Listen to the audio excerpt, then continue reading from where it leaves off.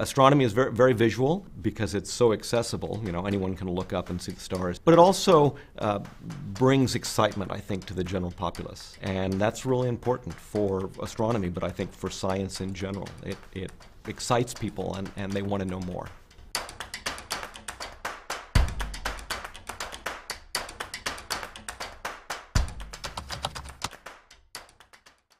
So fast radio bursts are, are uh, one of these objects where we look out there and something happens that we've never seen before, and then we have to explain them. And fast radio bursts are, are, are a, a perfect example of this, where uh, bursts of radio transmission, that is, uh, photons in the radio part of the electromagnetic spectrum, were observed from different areas on the sky. The problem was that they occurred once and so when you have one event, and you might not necessarily know exactly where it is, you can't follow up to see what's there. So we had these mysterious fast radio bursts appearing all over the, the sky, in essence, and again in the, in, the, in the radio part of the electromagnetic spectrum. Well, several of them over the past several years have repeated.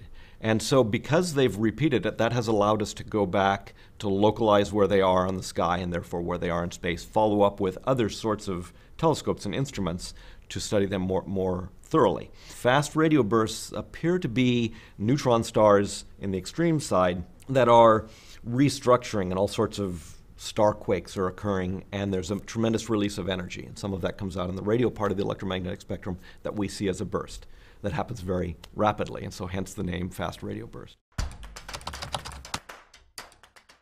A neutron star is the end product of a very violent event, that is, the collapse and explosion of a, of a star that's more massive than the Sun, in what we call a supernova event.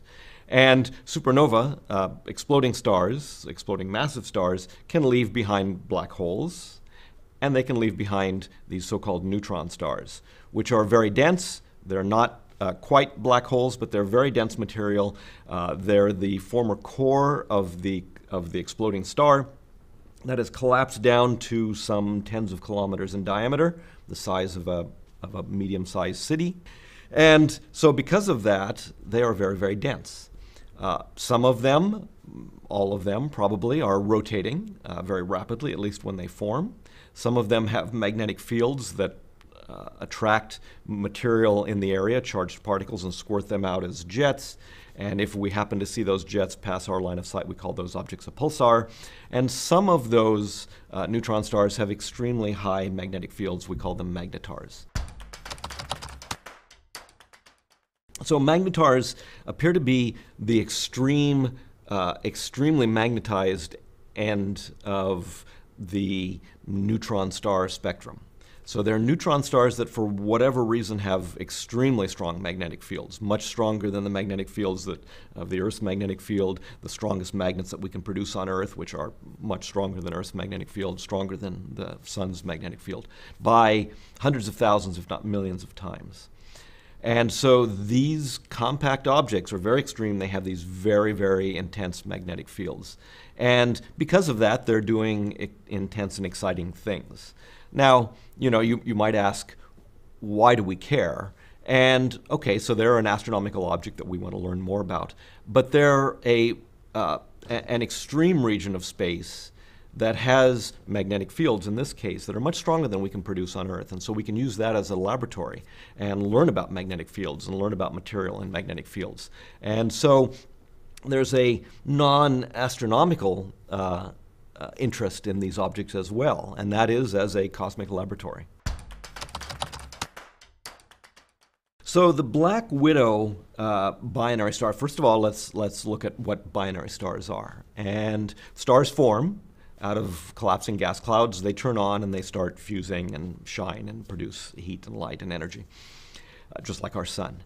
Our sun is uh, isolated in space. It has no stellar companion that's that's gravitationally bound to it. Lots of planets, of course, but there's not a stellar companion. And on the contrary, most stars are formed with another companion. If there's another one, so there's two stars, we call that a binary star system, where they are locked gravitationally and they orbit each other.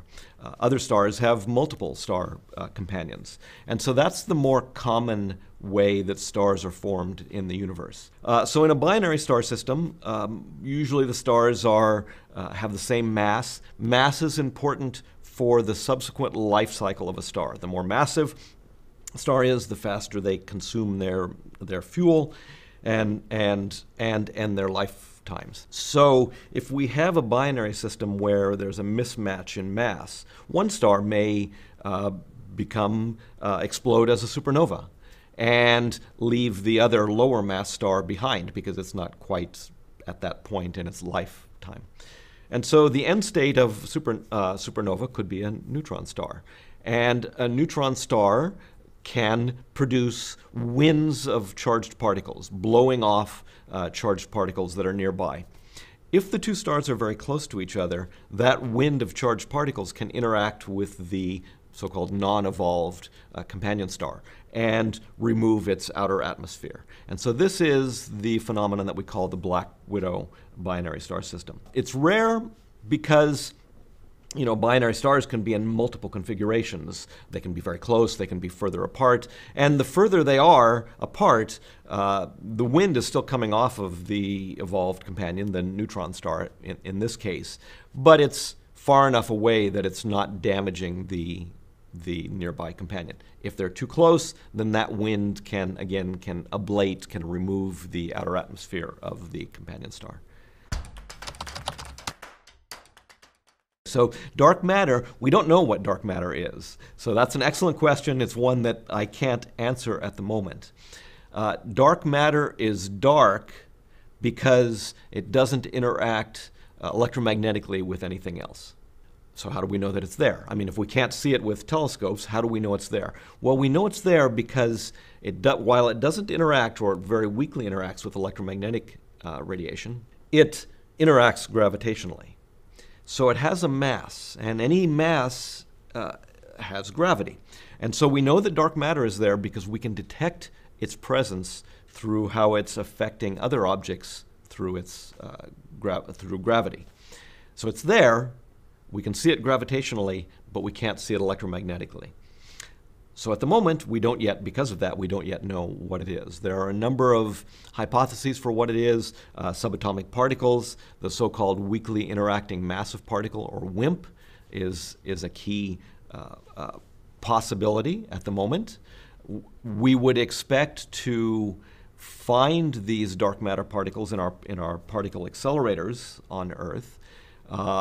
It's a very difficult observation to make because they're very weakly interacting apart from gravity. And yet we have not, not yet discovered them in the particle accelerators.